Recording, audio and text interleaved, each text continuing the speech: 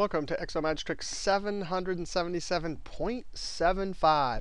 This is actually uh, a, a, second amendment to Excel Magic Trick 777. Actually, it's not amendment. It's just one other great trick for SUMPRODUCT. 777, we saw 14 examples for SUMPRODUCTs. 77.5, we saw a bunch of other examples. And in here, we just want to talk about one great use. Now, lots of times, we try to use functions like SUMIF or COUNTIF or SUMIFs or AVERAGEIFs with external workbook references. Now, actually, you could download this work. You can also download this workbook called Source Data for 77.75. Now, let's just see what happens when we do SUMIF. So we're going to add with criteria. Well, the range with the criteria and the sum range are on in a different workbook. So I'm going to Control Tab to jump to the other workbook. Usually Alt Tab is a keyboard shortcut to jump between open windows. Control Tab jumps between open Excel files. All right, so my, if you can see right there, the range that has all the criteria is there. Now notice when you do a workbook, it puts it in square brackets in their absolute, which is fine here. I'm going to type a comma to get to that criteria. And up here, I'm going to type B1 because I know it's in B1 over there. And then I'm going to type comma, and then the sum range is right here. Again, it puts in uh, square brackets on the workbook name, absolute cell references. I'm going to close parentheses and enter. Now, it's not B1, it's actually B5. Now that works. And SUMIF, no problem. SUMIF can handle a, an external workbook reference like this when the workbook is open. But let's go ahead and see what happens when we close it. I'm going to come over here. And by the way, SUMIF right here, it's parallel for COUNTIF, SUMIFs, COUNTIFs with an S, AVERAGEIF, and AVERAGEIFs. The same problem happens with external workbook references. So I'm going to save this and then I'm going to Control Tab, and I'm going to close this. Now, it doesn't immediately appear. I can put it into edit mode, but and then like this, and, and then you can see you get a value error. But I'm going to want to make all these have value errors, so I'm going to close this, save it, and now when I open it back up, first it's trying to be polite. It's saying, do you want me to update? Which means if the data over there changed, it's saying, do you want me to recalculate it? I'm going to say update. But now these all get val value errors. So we want to see how to build a formula with SUMPRODUCT to replace all of these. Now, let's go ahead and do our uh, open up our other workbook. Oh, and now they all magically work. Hey, listen, it's no problem. If you always have your uh, external workbook open, go ahead and use SUMIF uh, COUNTIF, SUMIFs because they calculate more quickly than the sum product formula. But let's go ahead and build our sum product formula. We're going to have to do array 1, array 2. Now we're adding here. And there's a column with criteria, store, and a column with numbers to add. So we're going to have to use two arrays.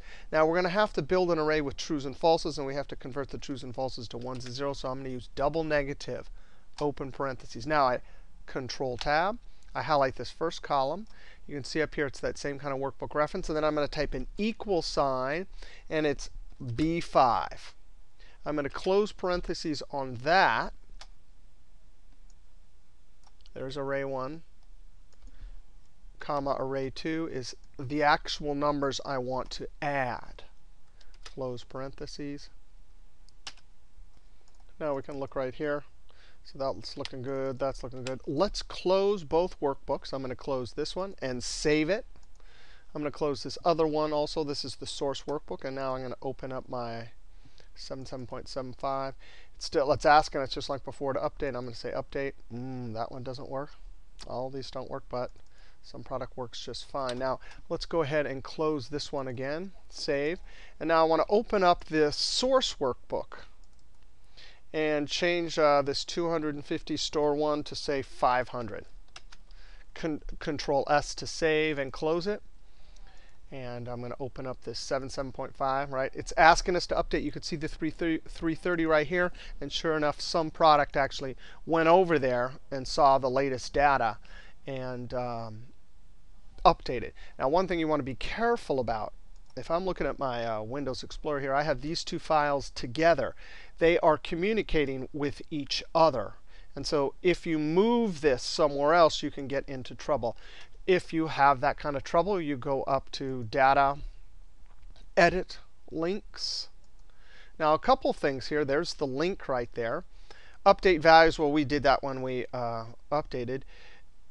Uh, open source, you could open the source this way. And in fact, I, I will do that right here. And then you can see that, sure enough, then all of the other COUNTIF and SUMIFs and the like are actually calculating. But if I go back to data, edit links, the important one here is change source. source. If you move the workbook and the two workbooks are not communicating with each other, then you can click this and navigate and find the new location wherever you moved it to.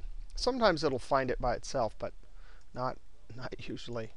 Okay, I'm going to close all this. Now, how in the world, uh, I'm going to go ahead and uh, close this. Close this right here, save it, and then open it back up. Let's go ahead and see how to do count. Now, I'm just going to cheat. Now, I, I actually didn't mention this earlier, of course, you probably noticed, but whoa, it has the whole file path right? Well, of course it has to have the file path name because it needs to go where go nowhere and go and look. Before, when we created it and the file was open, it, it just showed us this, the workbook reference in square bracket. But it has the whole file name. Now I'm actually going to copy this whole formula in edit mode. Copy, escape. I'm going to come here, edit mode, control V. And counting is simply we don't include array 2 right here. So delete backspace on that, we have just array 1, and now I can close parentheses. That's counting. And so how would you do an average? You just do those two calculations, either both together in a cell or in separate cells like this. So you can get around the fact that SUMIF, COUNTIF, average if, and all the s's, SUMIFs and whatnot you can go ahead and use this.